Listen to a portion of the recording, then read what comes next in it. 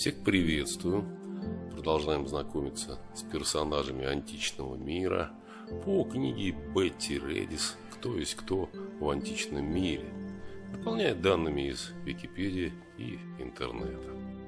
Сирены. Сирены у Гомера – это две сестры, позже их число менялось, которые завлекали своим пением моряков, наводя их корабли на островные скалы. Сам остров усеян костями их жертв.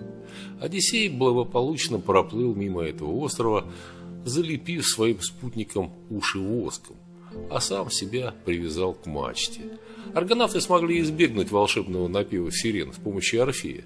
Своим прекрасным пением и игрой на лире он заглушал голоса демонических существ. Традиционно островом Сирен считался современный остров Галли, находящийся в заливе Салерна. Согласно более ранней, негомеровской традиции, сирены считались дочерьми геи или одной из мус, откуда божественный голос, подругами Персифоны, сопровождавшими мертвых подземное царство и подобно гарпиям, питавшимся падали.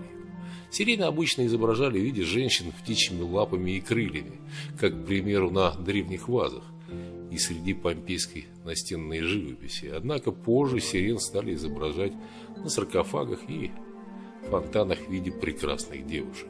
Подобно северным русалкам, сирены в позднейшем фольклоре приобрели рыбьи хвосты. Они утратили также свой злобный характер. Платон в «Государстве» упоминает сирен в связи с пифагорейской музыкой небесных сфер, а согласно Светонию вопрос, какую песню пели сирены, это не более чем одна из неразрешимых загадок, которую задает император Тиберий своим придворным ученым, желая подразнить их. Однако и в наши дни сирена часто служит образцом роковой женщины. Ну вот так вкратце о сиренах.